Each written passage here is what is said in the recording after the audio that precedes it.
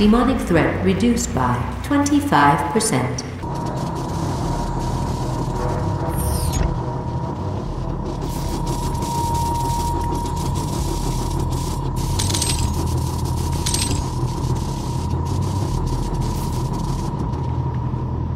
Untethered cross-dimensional activity is a frequent occurrence outside of the base, so it is recommended that workers buddy up when journeying onto the Martian surface.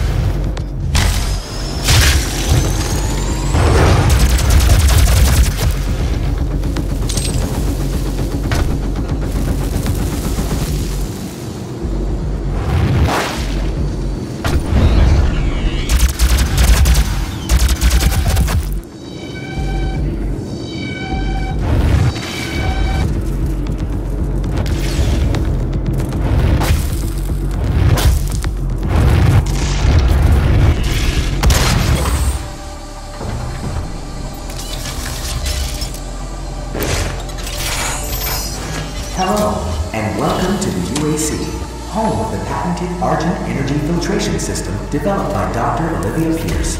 We are the only corporation with this technology, able to convert pure hell energy into clean, controllable Argent energy.